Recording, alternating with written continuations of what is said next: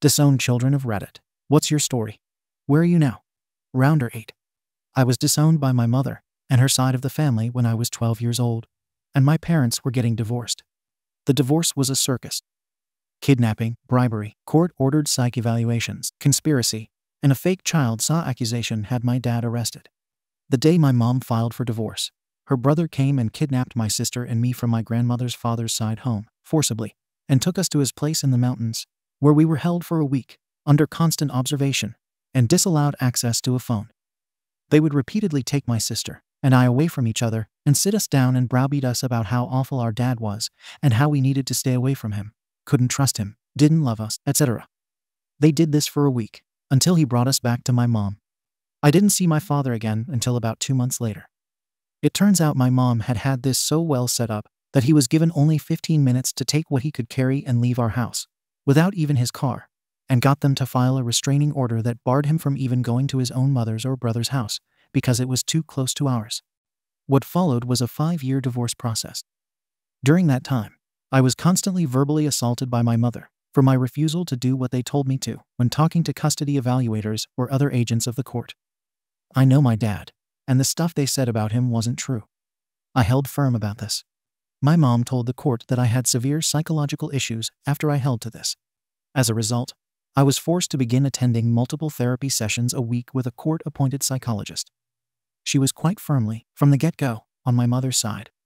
She would have sessions where it was just her and my mom sitting in front of me and telling me how wrong I was for an hour straight until I couldn't say anything because I'd be crying too hard and begging them to leave me alone. I showed that psychologist a clear hand and nail imprint my mom left on my back after beating me after I continued to insist I wanted to live with my dad. She chastised me for doing so and refused to acknowledge it. After about a year and a half, I was finally able to live with my dad. The divorce was still going on, and my sister lived with my mom. My sister had become a mouthpiece for whatever she wanted her to tell people when interviewed. She would stay with my dad and me every other weekend. So, my mom and her family couldn't tolerate this, so they came up with a plan. They started forcing my sister to hang out with a neighbor girl my sister did not like. They then got my sister to continually ask if the girl could sleep over at my dad's house. My dad finally said yes. They claimed a week later that my dad saw the girl while she was there. He was immediately arrested. The thing is, I knew for a fact that my dad never left his room after the girls went to sleep. I know because at that time I had severe problems sleeping and was up the entire night. I testified in court about this. The girl changed her story six times in court, then admitted that my mom's family put her up to making the accusation. Immediately after this, my mother and her side of the family disowned me. It's been about 13 years since. I live with my dad still. Things are good. I have a job I enjoy and good friends, and I honestly haven't felt I've missed anything of value from not being around those people. They did ask me to come to my grandfather's funeral this year, and I refused, prompting them to accuse me of being childish and selfish. I definitely am not missing out on anything. The act of disowning someone is an inherently selfish act. The sort of people who would really do that likely don't really care about you as a person, more so what you offer them. And that's certainly not the perspective of actual family. In response to Rounder 8. Breaker Breaker. You should sue the psychologist or file a complaint with whatever state board runs their certifications. That person is unfit to evaluate children. I'm totally serious. Sorry, you had to go through all that. Remember, there are way more good people in the world than arseholes. Keep making friends and maintaining those healthy relationships. Rounder 8. I looked into her back in 2010. She was sued twice for doing this, or similar things, in other cases, and came out still able to practice both times. I'm not going to dwell on her. She's not worth it to me, but I am disappointed that she's done this to other people and can't seem to be made to stop. At Heolian. I was disowned when I was in college. My brother, who had already been in and out of juvie and jail, stole my debit card, charged thousands of dollars worth of adultery to it, and spent every penny I had. The police basically faffed around and said they couldn't do anything until I pressed charges to prove I hadn't given my brother permission, or some such nonsense. And the company wouldn't refund my money without a police report. I told my mom I'd have to file a report in order to get the money refunded. My dad found out and told me I was choosing to punish my brother or my family. I needed the money back to pay for food and tuition. They never offered to help me recoup the money. but they were so furious that I tried to file a report to get the money back. I did end up getting the money back and felt like the worst person that had ever lived. Although the police had basically no interest in pursuing anything against my brother. Eventually, many months later, they started talking to me again. But I knew they valued him far more than me. Deleted. My mother remarried when I was seven, to a man who considered me a reminder of her having a life before him. They had three more kids, but I was essentially disowned when I was seven. Unfortunately, I had to keep living with them until I was 18. It was horribly abusive, both physically and mentally, and it was totally Cinderella without the hope of a wealthy prince to save me. They kicked me out at 18, gave me $60 in food stamps, told me to figure it out, and then moved to another state. I had no family in the area, and all my friends were leaving for college. I ended up spiraling out of control, getting into drugs, and drinking a lot every day. I got into drug running and sold meth and weed for a large region of my area. I had guns pulled on me, was hiding from police, and was largely homeless. My supplier got me pregnant and, naturally, wasn't a stand up guy about it. I got myself into a homeless shelter, slowly got back on my feet, and had my son at 19. I put him up for adoption, and he lives with a wonderful family. I found myself in an abusive marriage for a couple of years before finally finding the courage to leave, meaning I was starting my life over again at 21 for the third time. I dated a nice guy, one that didn't ask a lot from me because that's all I could handle. We split up because I wanted to do more with my life, and he was happy being where he was. So at 24, I found myself starting over again. I moved to Oregon and dated a guy for nine years. I went back to college and got a degree in finance, and I got hired by a top tech firm right out of college. I'm 31 now. I got involved in dance and met a lot of wonderful friends. That guy and I split up amicably, and we're still friends. Finally, at 34, making close to a six figure salary, I met a wonderful man who is everything I've always searched for in a partner. I have a terribly successful career, a wonderful partner who is ambitious and brilliant. We have a lovely little home in the city. We travel, we share hobbies, and we have two sweet cats and our baby bunny. Occasionally, I look my family up on Facebook, and they're still in the same state. My siblings are either working dead end jobs or unemployed, and still living with our parents, and no one in that family seems to have done anything worthwhile. I'd say it turned out well. TLDR. Booted out. Went from a homeless meth dealer to a six figure salary at a tech firm, and parents still stink. GCAR 37. I feel like I could write a damn novel, but I'll boil it down to the essence. I'm 30 now, and my parents got divorced my sophomore year of college. Things were already a bit tense toward the end of high school, but most of the big stuff happened once I went to college. During the divorce, my dad was made out to be the bad guy, and I believed it. I was 150 miles away from everything happening. All the news I got about the divorce was secondhand for most of the year. And by the time I moved back home, things were very contentious. My mom is very manipulative, and as a kid, I guess I never realized just how bad it was. So I had gone away to school. Money had been set aside. I went to a school out of state because we had this money and a plan to pay for it. My mom accused my dad of spending it all. To this day, I don't know exactly what happened to the money, but suffice to say, I had to live the American dream and take out tons of student loans for a degree I really don't use. I've been paying for eight years, and I'm still 60k in debt. I know this isn't a largely different experience than for many other students, but I really wasn't prepared for it since the money was supposed to have been there. Because I had gone to school out of state, I settled down away from my family. I got married and bought a house, you know, normal things that normal people do. Well, my mom viewed this as me abandoning her and the rest of my family. This wasn't the case, but admittedly I dreaded talking to or visiting my family because every conversation just devolved into hours of complaining. My mom about my dad, my dad about my mom, my brother's drug problem, my mom disliking the fact that my sister came out of the closet. It was all really draining. I told them all how I felt about it, and my dad backed off for the most part. My mother took it completely the other way. She refused to call me and stopped returning my calls around May of last year. She also convinced my sister that I hated both of them at that time. Not true. And so my sister stopped talking to me as well.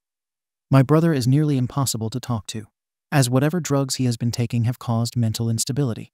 I went from having two siblings and parents to talk to, to two siblings that either can't or won't speak to me, and one parent who moved 3,000 miles away to start fresh. I can't blame my dad on this one. This is all set up. Here's where the story really begins.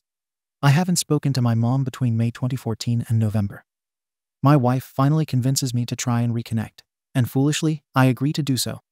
It was Thanksgiving, and we were with my in laws, and she managed to make me think it could possibly be a good idea. I called my mom, and shockingly, she actually answered.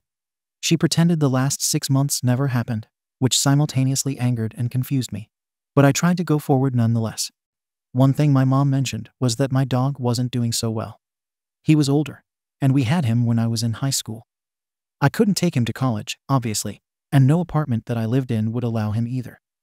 By the time I bought my house, we had two cats that are very skittish, and I figured that it would be best not to introduce my dog a black Labboxer mix who is very chill. But still, I asked her to keep me updated on what was happening, and I made tentative plans to meet with her and the rest of my family at Christmas. Christmas comes along, and I spent Christmas Day with my in laws again. I talked to my mom and told her that I would come down to her place the next day about two hours away. She told me that she was okay and that she had to work until 6 p.m., but she was concerned that my dog wouldn't make it through the night. I hesitated to leave on the spot, but I didn't want to drag my wife away from her family. The next day, I called my mom around noon to confirm that she still had to work and that I would see her around 6. No answer, so I texted a few times to her and my sister over the next two hours. I finally received a response at 4 p.m. I still have the text on my phone because of how badly this devastated me. My mom told me they were at the vet, putting the dog down at that moment. I asked where what the vet was because I was already in town and was most likely less than 30 minutes away. I was told to stop bothering them because I was being a pain. That's right, in trying to see my dog one last time before he died, I was being a pain in the arse. I texted them one last time and never received a response. That was the last time I ever heard from my mom. I did not get to see my dog, as I was shut out on the day he died.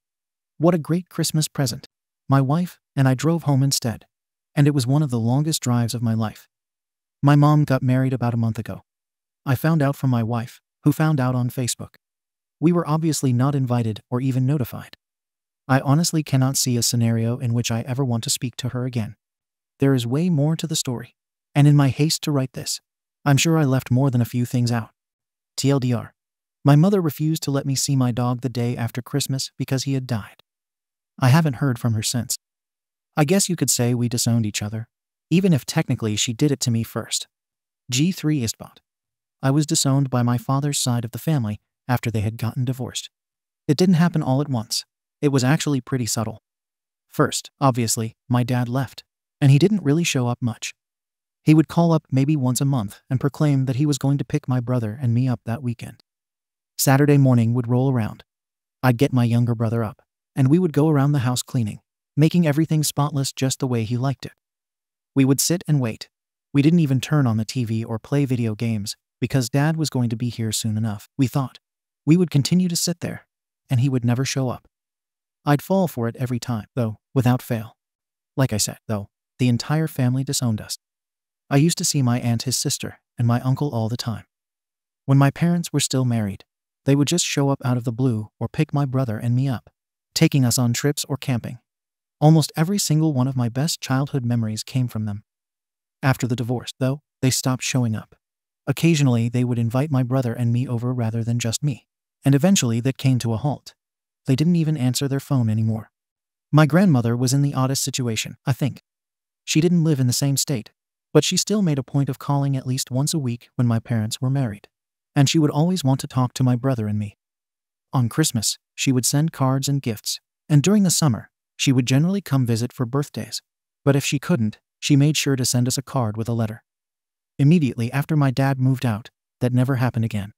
She didn't answer her phone and never sent a card, a letter, or anything. When you're a kid, you really don't understand what's going on or why these people, who had showered you with so much love, turn their back on you at a moment's notice. They were the closest thing I ever had to that sense of family bound by blood, connected in a way you can't connect with anyone else. My mom's side of the family has always been weird, always keeping family ties at arm's length. You visit during the holidays, and when you do, you force a smile, stay for an hour or two, and leave. That's it. Punk Walrus. My father disowned me, but it was never an official thing. I was in an unwanted pregnancy, and my sister, when she was born, was given up for adoption. My mother committed self harm when I was 18 years old and a senior in high school, and my father pretty much told me that he didn't have to deal with me anymore. So I was homeless for a little while, until I found a more permanent situation after I graduated high school, crashing on friends' couches and living in their guest rooms for a few weeks here and there. Originally, I wanted to go to college, but unfortunately, I had to earn a living to eat and pay rent and stuff. I ended up doing fairly well. I went from retail work to sales management to at work. I now make six figures as a senior systems administrator for a large HR nonprofit. I got married, had a son, and was married for 25 years until my wife passed away just last year from sarcoidosis. During that time, I have published two novels, have a collection of short stories, and am the president of a large anime company that has a large convention here every year. I still suffer a lot from PTSD from my childhood, mostly due to my father's abuse. But I manage. I see a therapist, and I take some psychotropic medication from time to time to deal with depression. Last I heard, my father was still alive. He got remarried shortly after my mother's death, and they moved out to California somewhere. My father and his wife are very wealthy, living off of our tax dollars in the defense industry, while his wife has a large inheritance from an old money family. I have probably seen him about five times since I was forced to leave the house in 1987. He's seen his only grandchild three times, but he does not seem to be interested at all in any sort of communication. He is very happy with the money that he makes and the lifestyle that he leads and he never wanted to have children, so I guess it worked out for him. I did okay. Combination of skill mixed with luck, because luck favors the prepared.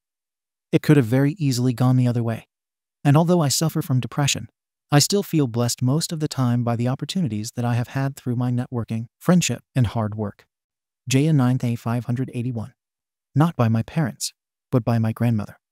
My parents were divorced when I was a kid. When I was 18, I moved across the country with my mom. Two weeks later, my dad was killed in an accident. I had a really hard time dealing with it while being so far away, so a few months later I moved back. My grandparents took me in, and I lived in their basement with my cat. I had a good full time job, paid my bills, and had a small amount of money left over for savings. I was making a fair amount for a 19 year old kid, but I had a car payment, insurance, gas, cell phone, food, etc. That ate up most of it. There was no chance of me earning enough anytime soon to get my own place. I usually worked closing shifts at work, 2 10:30 at night. I would leave in the afternoon, when no one was home, with my lunch in a plastic grocery bag and some other things magazines, crocheting, Game Boy, etc. In another bag, sometimes a canvas tote, sometimes another plastic bag from somewhere like Target. I'd bring home the empty Tupperware and my personal stuff at night, greeting my grandparents, who always saw me walk in, then going downstairs to my room. This went on for about eight months. One morning before work, I sorted my laundry into piles on the floor colors and lights, so I could toss it in the wash when I got home. This was in my own room, mind you. Then I went to work. I came home to a letter from my grandmother, saying I was extremely disrespectful, leaving crap all over my floor. Literally, the only thing on the floor was the laundry, and buying things every single day. She thought I was buying things when I would bring home the bags and I would either have to start paying $600 per month to live there or leave. There was absolutely no way I could pay that much money. Even if I totally stopped eating, I did not have enough expendable income after my bills to afford that. So I left about three days later, after unsuccessful attempts to change my grandmother's mind. A few months later, I found out my grandfather had a heart attack. He was elderly, had been a lifelong alcoholic, though sober for about 15 years at that point, and had numerous other health problems. My grandmother blamed the heart attack solely on the stress I caused. My mother tried very hard to talk her out of this, but it wasn't happening. It's been almost 15 years, and I've seen my grandmother exactly once, and she made it very clear she had no interest in speaking to me. She does still speak to my mother, but they do not speak of me since my grandmother said she thought my mother was a horrible mother who did a terrible job raising me. What's funny about that is that my mother was the teenage smoker drinker who got pregnant as an unmarried 18 year old. I was the straight edge child who got good grades and never, ever got in trouble. My grandmother doesn't ask about me, and my mother doesn't offer any information. My grandmother thinks I am still married, living outside of Boston. Although I left Boston for California almost three years ago when I left my husband, and I now live in Arizona and have a new boyfriend. I was always very close to my grandmother, and it actually makes me quite sad that she's shut me out. But at the same time, this is something she did, not me and I try to remember that I'm not responsible for her craziness. Deleted. I grew up poor as dirt in northwest Indiana, specifically the SHTTY part of Hammond. Growing up was pretty effed up. Dad died when I was super young, and we lost our house. I spent the next eight or nine years in a moldy basement in a house infested by vermin and insects. After multiple house fires, there were more moldy basement dwellings. I spent most of this time either being ignored or shunned by my family for the most part, bullied or abused by my RC hole, or the professional failure of a cousin, or otherwise made to feel as if I just wasn't welcome. I moved out around 19 and kicked it with my uncle for a few months before I got out on my own. Kicked arse at it and scalped to survive. I pulled it off with hard work. I talked to my mother off and on during this time. We mostly fought over the phone. I was always the one to call. She would never bother to call me. Her number changed like clockwork because she could never pay the bill. Alcoholism always came first. She was seemingly really upset that I left. But it quickly became apparent that she was only upset because my continued existence in her household resulted in additional support from the government, or on her tax return when she claimed me. The rest of my family was all too eager to forget I ever existed, it seems, because they never bothered trying to contact me. One day, we simply stopped talking altogether. I changed my phone number to deal with some telemarketing harassment I was dealing with. And I thought briefly of letting them know I had done so. But I thought better of it. They didn't seem to mind. My uncle asked if I wanted to let them know my number, and I declined. Not like they bothered reaching out anyways all these years. I'm doing really well in life these days. I would have liked to think they cared or would be proud of me.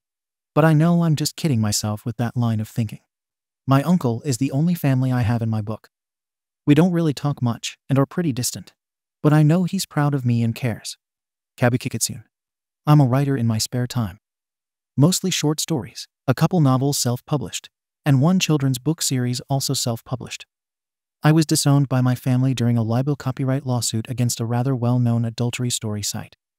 The suit centered around the fact that a writer in Arizona had somehow, perhaps by pure coincidence, written a series of incest stories that featured characters who had both my mother's and my names. I contacted the author in regards to this, asking for at the very least a disclaimer that the names were not in any regard representative of people living or dead, or for the stories to be edited and the names removed.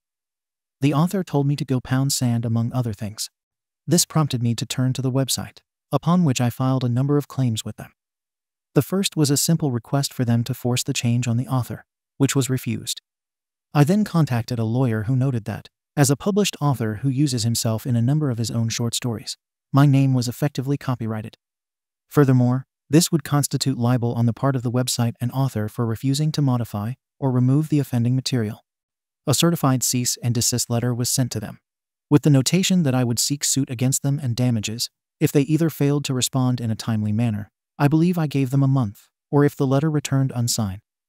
On day 29, they finally responded, sending a long ranting letter that said in part that they cared more about free speech than copyright, and added that the story must be true if I was protesting as much as I was. Furthermore, they refused to divulge the actual address or location of the author in question, preventing me from suing them as well. Somewhere in the middle of all this, the stories were submitted by the site to Google and a few other sites to come up as a specific search result for when my name was searched. We found this out in court.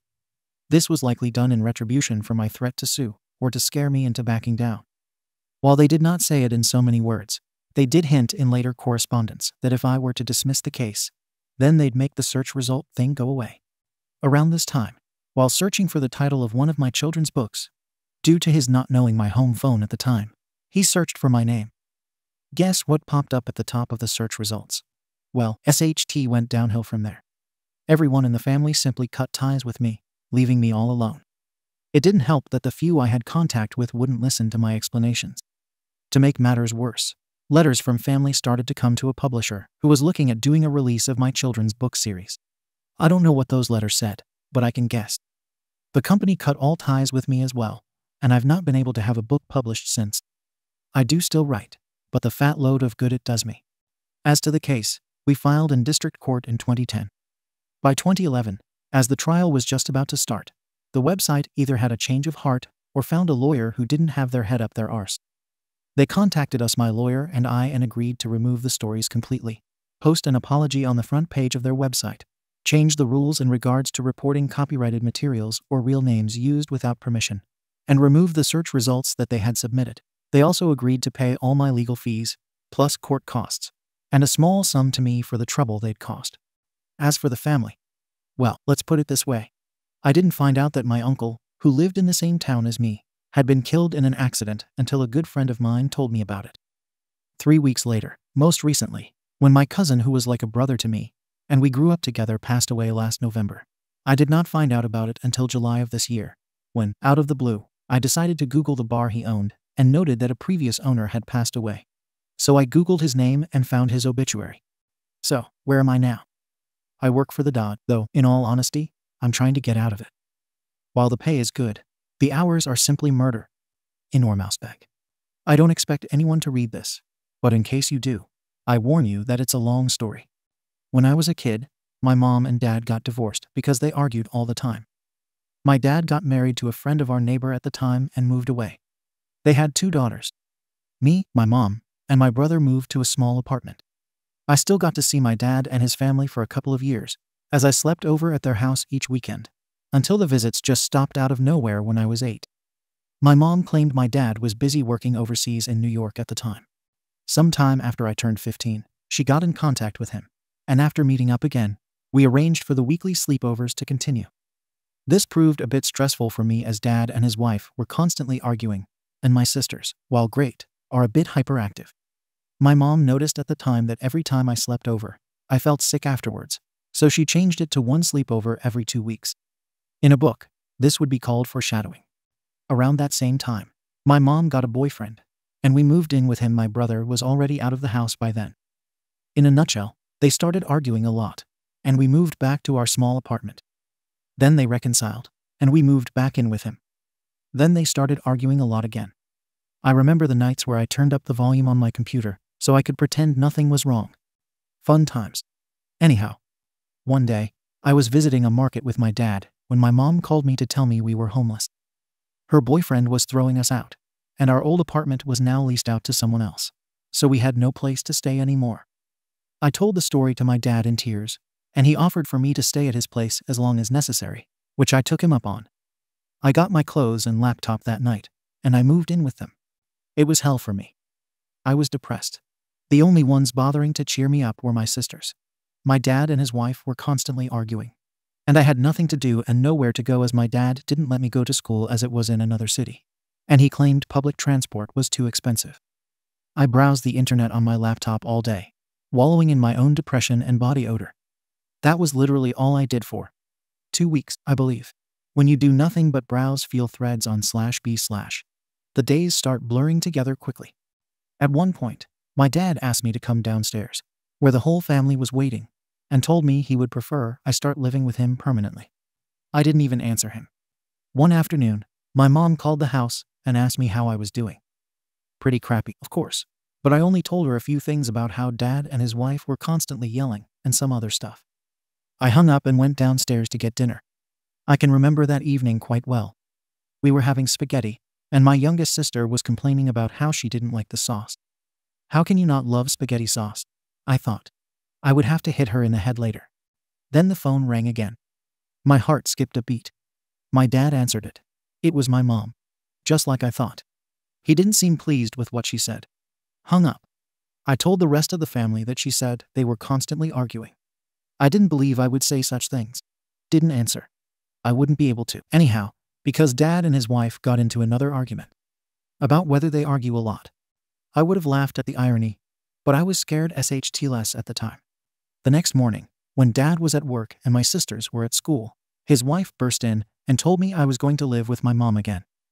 I would have been ecstatic if it weren't for the fact that she seemed incredibly eager to push me out the door, as she got my stuff and pushed it into my suitcase as fast as humanly possible without even explaining anything, walked me to the subway, and then F-ed right off. At the end of the subway's line, I got to see my mom and aunt.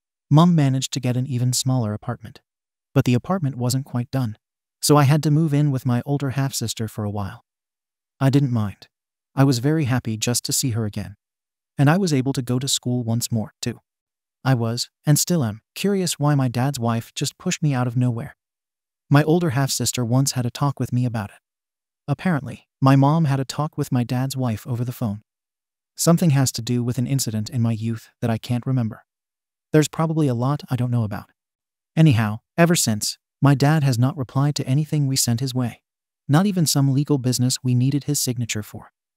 Well, without the exception of one email in which I accused him of ignoring me. I got one email where he claimed he wasn't ignoring me, just very busy with work, and then he went right back to ignoring me. I can't say for sure why. Maybe because I didn't want to live with him permanently. Maybe because I just left right out of nowhere. Who knows? I can't say I miss him. I do really miss my sisters. I haven't seen them in person for years. I talk with my oldest younger sister on WhatsApp sometimes, though. She seems to be growing up just fine, contrary to what I expected with parents like hers. It stinks that we have to be stealthy about it. She's kind of afraid of what'll happen if her parents find out. TLDR, my dad's a D-bag. Thank you for watching the video. If you are interested in listening to these kinds of stories, we've got more in store for you. Simply subscribe to our channel, hit the like button, and share it with your friends.